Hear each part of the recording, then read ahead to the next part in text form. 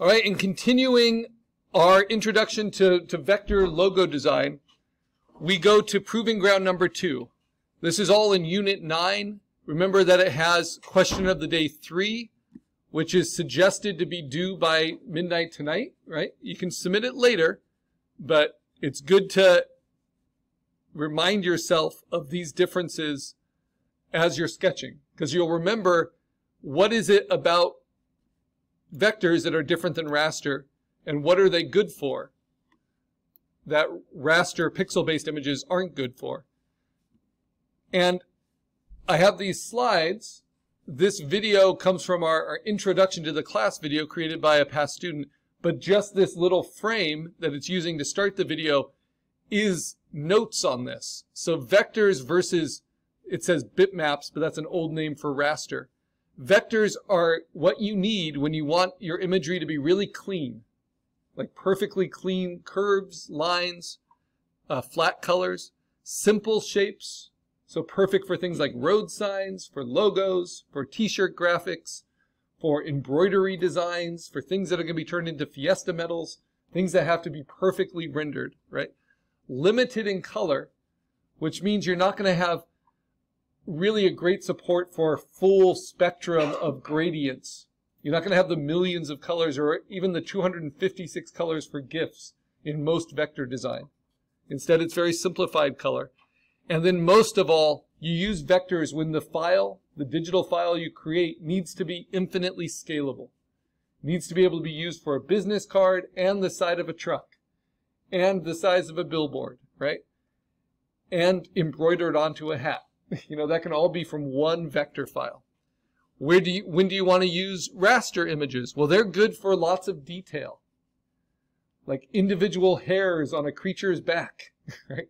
Being able to control the pixel resolution on that helps. For subtlety in color and shifts of color, gradients, smooth transitions, being able to control the color of every pixel and control how tight that pixel grid is really helps. Desktop icons like these, better that these are pixel based because if they're vectors, then they have to get downsampled and then shown as pixel based because they're made for screen icons anyway. So that a vector actually takes more memory as a screen icon than a raster image does. And then things like photographs. If you can turn a photograph into a vector, but you're not going to like how it looks. It looks like a really chunky stencil. What file does a vector get saved under? So there's a few different formats for vectors that we haven't learned yet. But let's review what we've learned. We'll do it as review for the midterm. But what have we learned for raster files? We've used them as JPEGs. That's our simplest online raster file format. We've done them as PNGs which are raster file formats that go online and support transparency. And then our working raster file format is PSD, which stands for Photoshop document, whether you're doing it with Photopea or with Photoshop. That takes up the most memory. It can't go online, but that gives us all of the control, all the layers, all the different settings. So those are the raster formats we've done so far. Oh, we also did GIF, right? GIF is an online file format that limits your raster image to 256 pixels, but because it's so limited, it also supports animation scripts that play in browsers. And GIFs support transparency. Whew. But a GIF is not a multi-layered format. It can only show one layer at a time.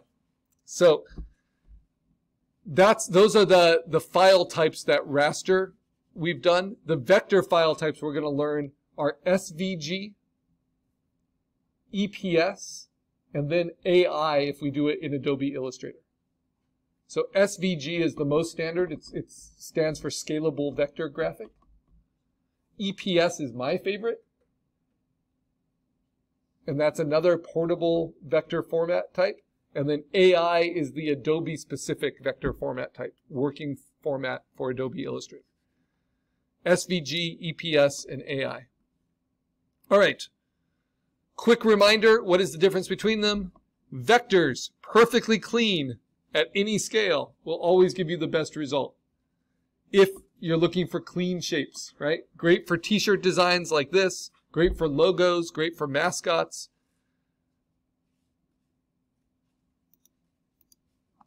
Great for line art illustrations. Like Vector can do this very well. We'll be doing this with a later assignment We'll be making line art as a vector and then coloring it in with raster.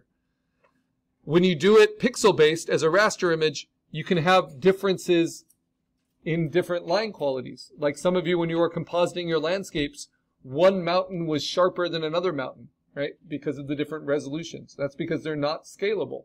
They're always locked into their pixel dimension.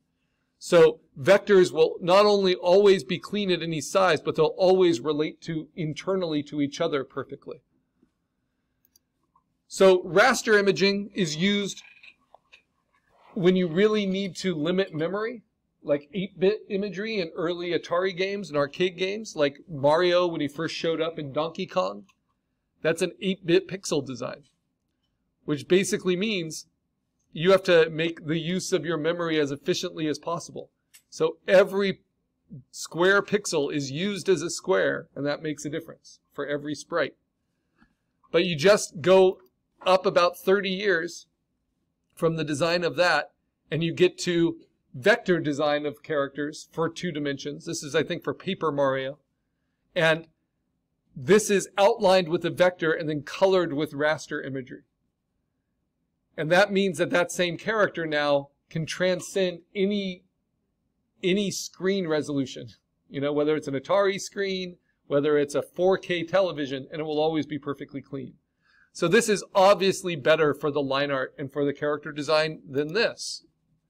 But it does take up more memory. When it gets complicated is when you have vector 3D models that then will render out for 2D their own outlines. So these are vector outlines rendered from a 3D polygon mesh because 3D polygon meshes are vectors. But then the meshes, the individual polygons get filled in with raster pixels to become what are called uh, rendered models. So when you render a model, you're filling in the pixels. And that can be done multiple ways, which we'll be learning, right? In two dimensions anyway. Flat color, duotone color, soft edge duotone. So what we are designing are pictorial logos. We're not trying to, to work with letter forms. And we're not trying to do both at once. So if you're working on combined marks that have imagery and letter forms, just get rid of the letters. And let's just focus on the, the pictorial aspect of the logo. But no matter what you do, you want these to be clear, engaging, and versatile. So they need to work at any scale. They need to be perfectly clear in their communication. And you want them to be engaging by just not being super cliche and super generic. These three approaches are helpful at pushing your idea, right? Central symmetrical is, is probably by far the most common. And it's not always perfect symmetry, but it's always based in the middle and then balances out. And so we're always going to design it in black shapes first. So this was my sketch for central symmetrical in these slides, right? Dynamic can be tricky for people, especially if they're new to logo design. But the whole idea is that it is not based on horizontals and verticals. It's based on curves and diagonals. It's meant to move the eye through it at speed, sometimes through it and around it, like this Rio de Janeiro Olympics logo, which is one of my favorite Olympics logos.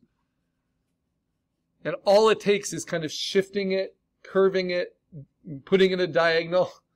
What you want to avoid are horizontals and verticals. And then positive and negative space, sometimes they're central symmetrical, sometimes they're more dynamic. But this, what this really does is it activates the blank space. It makes the blank space vital to the logo even creating its own content sometimes, like the faces here, the animals here, the S here, the city skyline here. So for my dynamic, I just took the, the mascot head, did it from the side and tried to have a lot of diagonals and curves, no horizontals and verticals. For the positive negative space, I did one big shape and then cut out of it with this other content in the negative space. But let's look at some professional examples.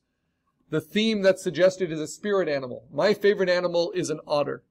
I don't know if it's my spirit animal or not, but I just looked at some, some logos that exist for otters.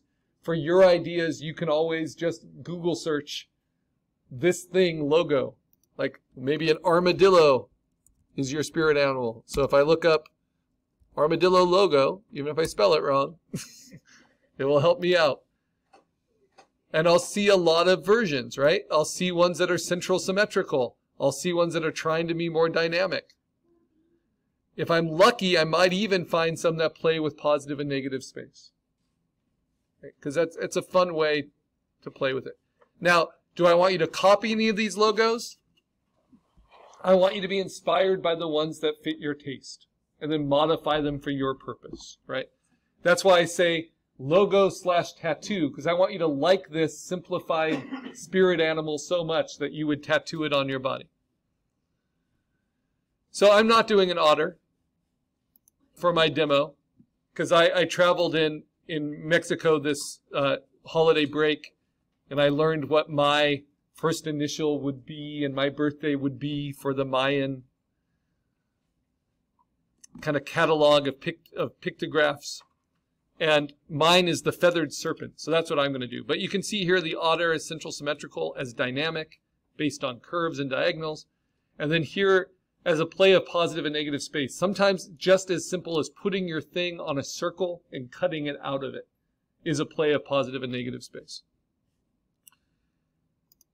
So then we're going to refine our sketch. And how do you refine your sketch? Well, you pick your favorite approach. So if this is my favorite approach, I clean it up, and then I fill it in with the black shapes where I want the black shapes to be. And I use this as my example, even though this is a little nitpicky to be a logo, because notice how different it is if I choose to fill in the black shapes differently. Like just with the eye, if I choose for the, the middle of the eye to be black instead of white, how much it kind of changes how it feels, right? So that's what I'm going to show you next. So for your proving ground number two, which is right after the examples.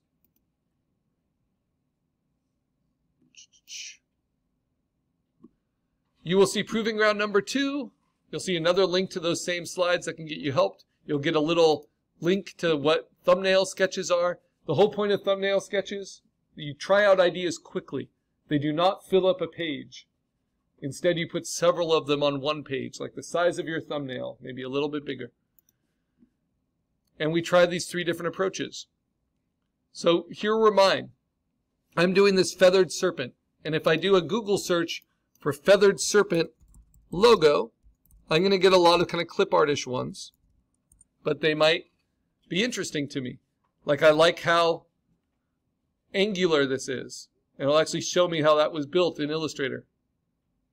It's kind of cool how these logo designers are putting things on. Or I'm going to find ones that are much more illustrative, right? Maybe a little too fussy to be a logo. So how can I show this to you? How do you refine? What makes sense? So I actually did a logo design in the professional program Adobe Illustrator. And I did it as tattoo design. So these are actually more tattoos than logos. So I did a, a, masculine feathered serpent shedding its skin and a feminine feathered serpent shedding its skin. That's what I was thinking of. One could go on each upper arm, right? And why do these not make good logos, though they might make good tattoos? Well, when I zoom in, they're perfectly clean. That's why they're vectors, right? But logos have to be incredibly versatile in a way tattoo doesn't. Tattoo goes for one place of the body. But if I put this on a business card, look what happens. You lose all of that cool distinction, you know, subtlety in the, the shapes and the scales and the constellations and all of that. And really, what makes better sense as a logo is just a solid black silhouette of each one. Does that kind of make sense? So that's what I warn with this project in terms of overdrawing putting in too many details. That's not what logos are good for. A logo is going to be better the simpler it is. That's going to make it more versatile. So if I look at my sketches, these are all trying to be based on just cutouts of black paper.